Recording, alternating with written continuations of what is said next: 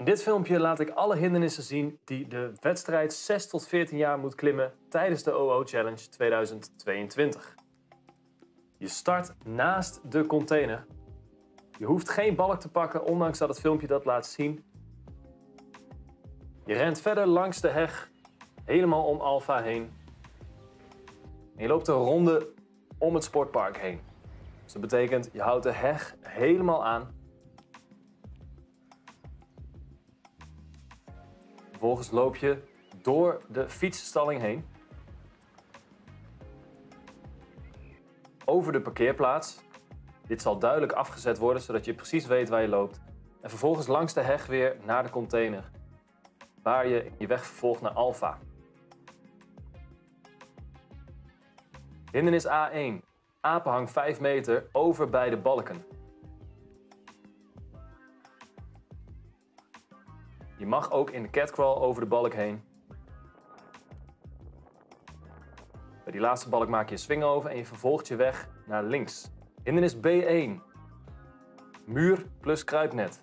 Je klimt over de muur heen, je mag de zijkanten gebruiken en je kruipt onder het net door. Vervolgens ga je linksom verder om Bravo heen. En je vervolgt je weg. Je maakt de looproute af. Deze loopronde loop je na twee hindernissen elke keer. Dus 10 keer in totaal. Je loopt tussen de korfbalvelden om en om de paal heen, zodat je door het gat in het hek het korfbalveld op kan.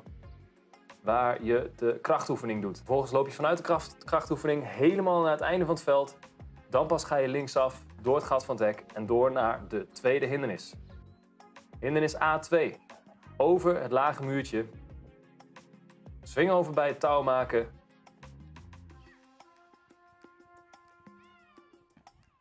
en over het daknet. Na deze hindernis vervolg je je weg weer linksaf. Hindernis B2. Over het daknet XXL.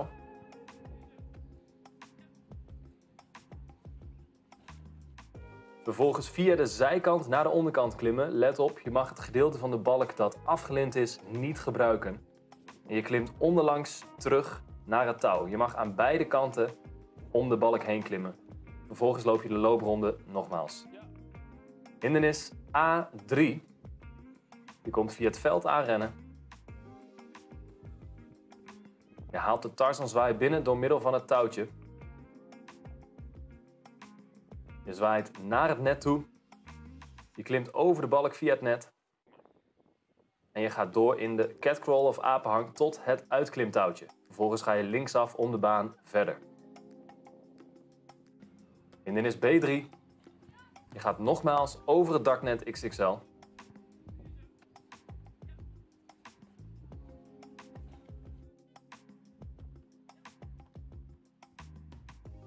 Nu ga je de M-hindernis doen, waarbij je alles onderlangs klimt. Betekent dus ook onder de middelste balk door, zonder de grond te raken.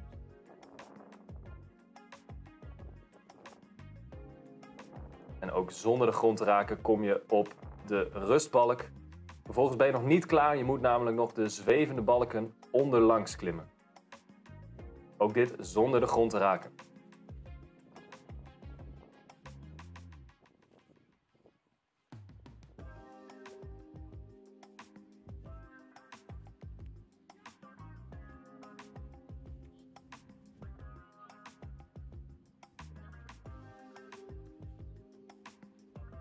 Stapt uit zodra je met je voeten over het lijntje kan landen. En je vervolgt je weg langs de heg. Hindernis A4. Je begint aan de andere kant van het lage muurtje. Je klimt apenhang. Vervolgens ga je over het net en via de schuine muur naar beneden. Tijdens de gehele hindernis mag je de grond niet raken. Of de XXL staplus gebruiken. Vervolgens klim je door of in de catcrawl of in de apenhang Vervolgens ga je over het net. En via de schuine muur naar beneden. Hindernis B4. Dit is de laatste keer dat je over het daknet XXL klimt. Vervolgens kies je een van de twee sporen. Het kan zijn de hoge huftelussen. En je moet beide hoge balken aantikken. Je hoeft er niet overheen.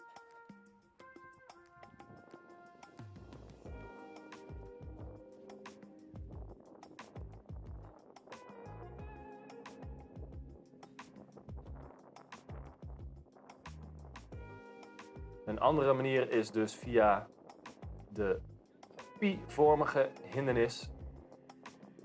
En ook hier moet je beide balken aantikken.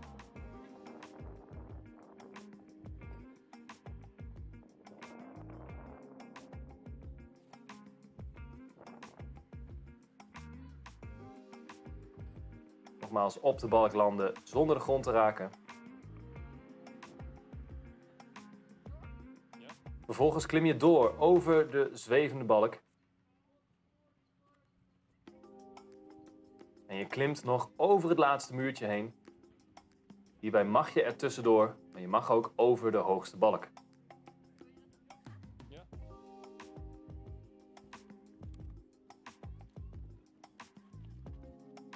Hindernis A5. Je stapt in op de lage balk. Je klimt via de staplussen naar de overkant. Zodra je over de laatste staplus heen bent, mag je op de grond. En je maakt een swing over bij de anderhalve meter hoge balk en je vervolgt je weg rondom alfa. Hindernis B5 is nogmaals de muur plus het kruipnet.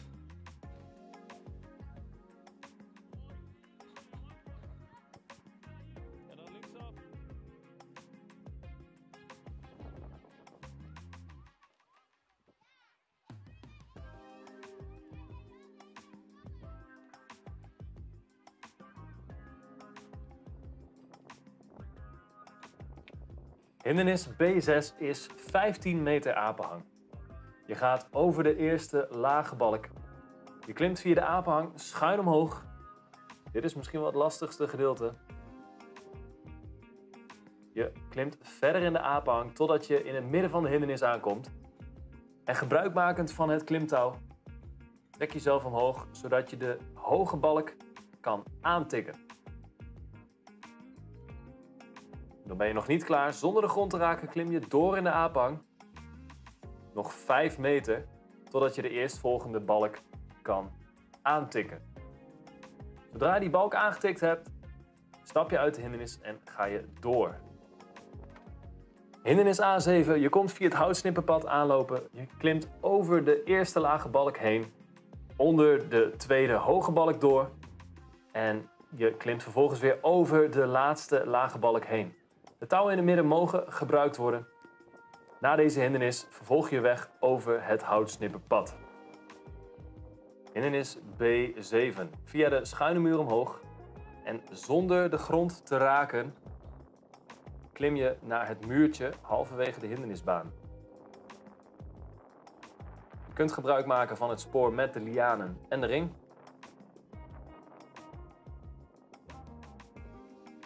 Zodra je met je hand het muurtje aan kan tikken, heb je de hindernis gehaald. Je kunt ook kiezen voor het spoor met de overlaplussen.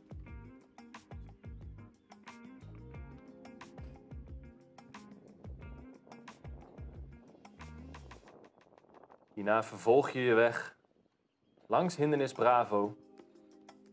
Je rent er linksomheen naar de heg en vervolgens rechtsaf weer door naar de loopronde. Hindernis A8. Je klimt over het grote net heen. Bovenop het net gebruik je een van de klimtouwen om de hoogste balk aan te raken. Vervolgens loop je door naar de achterste balk, je klimt daar onderlangs. En onderlangs klim je terug naar het begin. En zodra je de balk aan kan raken, heb je deze hindernis gehaald. En vervolg je weg langs het houtsnipperpad. Om eronder te komen mag je ook de balkenmuur of de andere obstakels gebruiken die daar hangen. Hindernis B8. Twee hoge swingoverbalken aanraken. Bij de 3 meter balk kies je twee obstakels om omhoog te klimmen. En je raakt de hoge balk aan met je hand. Hindernis A9. Ringen Hier hangen nog geen ringen in het filmpje, maar die hangen er straks wel. Je begint op de eerste lage balk. Via de ringen klim je naar de tweede lage balk zonder de grond te raken. Vervolgens klim je de staplussen. En bij elke staplus moet je met je hand de grond aanraken.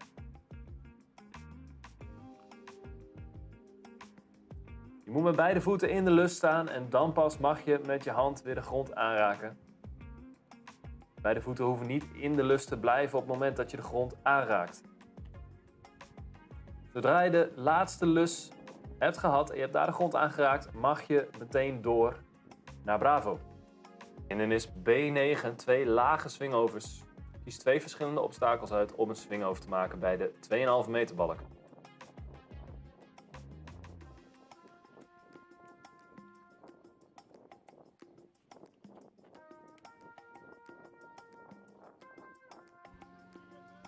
Hindernis A10, swingoverlaantje.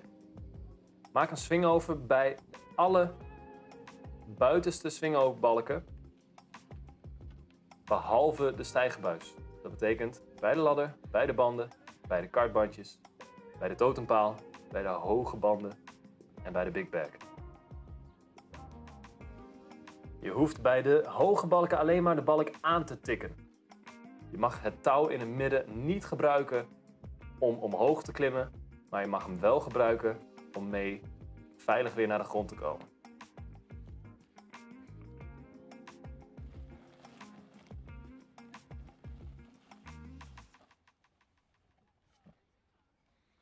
Dit kun je zien als de eindhindernis, want na deze hindernis hoef je alleen nog maar nog een keer de muur en het kruipnet te klimmen.